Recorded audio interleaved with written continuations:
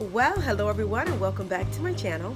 I'm Peaches from Lovers of Healthy Life and today I'm participating in an exciting collab video, Tablescapes from around the world, hosted by Elle from Easy Living with Elle and Cindy from Create with Cindy.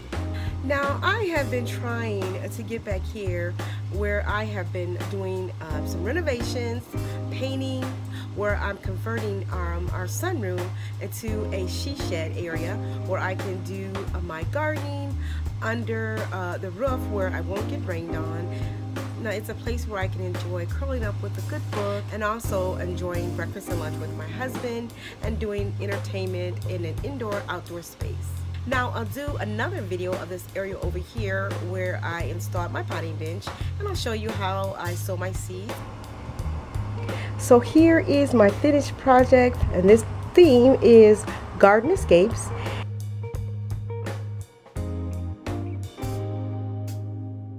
So I use that room as a guideline uh, just to create this space. And this is a sunroom that I converted into more or less like a she shed. It's a dual purpose room and I'm going to be using this for gardening and just a place for me to come back and relax and also entertainment. So I gave this room a little facelift, added paint, and also the decor pieces. And right here is a four, or actually five piece indoor outdoor furniture piece that um, I got from wayfair.com at a really good discount. And then the plates I picked up from Home Goods at a really good deal. I think there was a couple of bucks for the plates.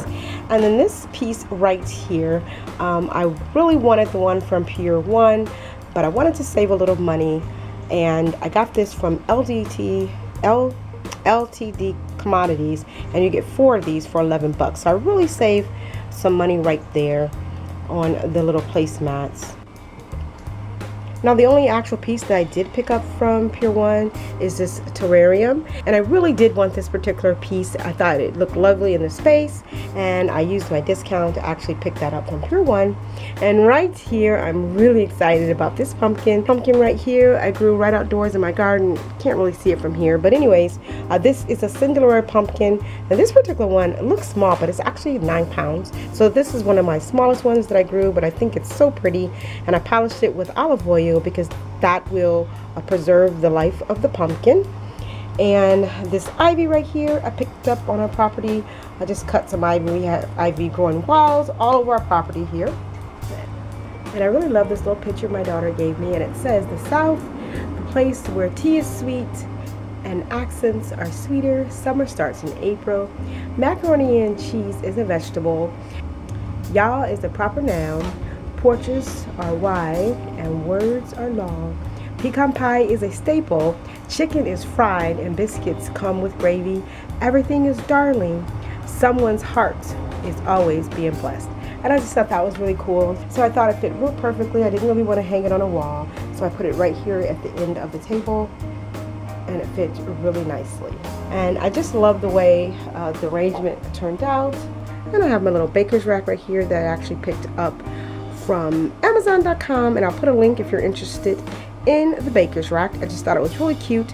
It actually comes with this uh, wooden shelf right here so I thought that was a nice um, design and then also it comes with this back rack so you can hang different things on the rack. Uh, right over here will be the seating area. I already have my chair. It comes with a cushion actually. Waiting on my little uh, love seat bench is actually the same color as the chair and um, it'll be really comfortable because when my mother-in-law comes she loves it's really comfortable. These chairs right here are super uh, duper comfortable. Uh, it's not wood but it is wicker but it's the re uh, resin. It'll last like totally forever. I really don't like the wood wicker because you always have to repaint it and it doesn't really last and it also peels. But this stays nice forever. For example we've had this particular table forever. Um, not sure what I'm gonna do with this piece right here. I might try to spray paint it, just not sure. Um, right over here in this corner of the room, I have my potting bench and I'm to do a separate video on my potting bench area and tell you a little bit more about what's inside my storage and how I store different things that I use for my plants. And look at this massive pumpkin. I actually grew this and um, I picked this the other day and it is 35 no 25 pounds. This one right here is 25 pounds. I do have some larger ones growing. I have several videos I'm gonna be doing. I'm growing some tomatoes and planters. I'm gonna be doing a whole video on what you can grow indoors. And let's see I'm also growing some ginger. I have some ginger plants growing right here. And they're doing really well. And this right here is Malabar spinach. It's doing really well.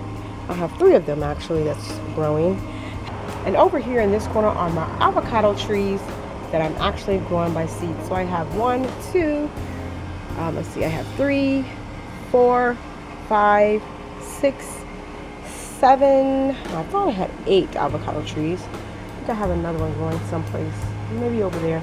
But anyways, um, and then back there, that's how I start my avocados. And this right here is longevity spinach that I'm growing, a baby longevity spinach.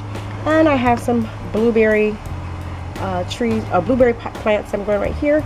And over in this corner is my moringa. I just recently cut back my moringa tree, so it's doing really well. Well, I hope you enjoyed this uh, sunroom slash she shed slash potting shed uh, makeover um, video.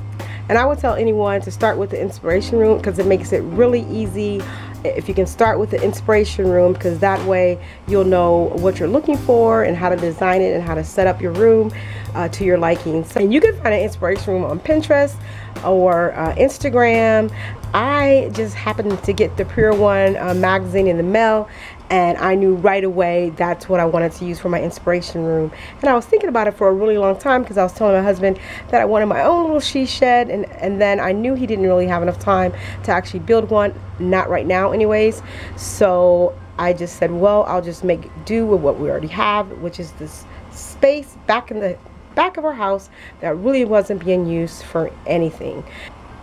I have a little bit more that I would like to do to the space, but I think it turned out okay.